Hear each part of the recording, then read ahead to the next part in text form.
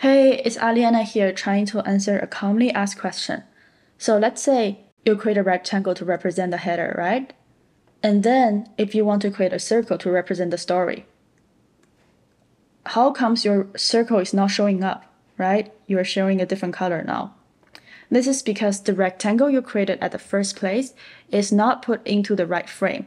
You need to put this into the Instagram wireframe frame. Um, you see, it's actually here. It's covered by it. So you can either drag it here, you can drag it, the exact position is here, right below ellipse, but still within Instagram wireframe. Not here, this is dragging everything outside the frame again, but below the frame. But this, this is dragging it within the wireframe, but below ellipse. Yeah, this is right. Um, but the best way to do it is whenever you're creating an element, always start the element starting point within the frame. So right after you create a wireframe, you need to check whether it's put inside the frame. This way, you don't have to adjust everything until the problem shows up because it could take you more time if you figure out the problem after you created everything, right? So whenever you create an element, always check the layer on the left and see whether it's at the right layer.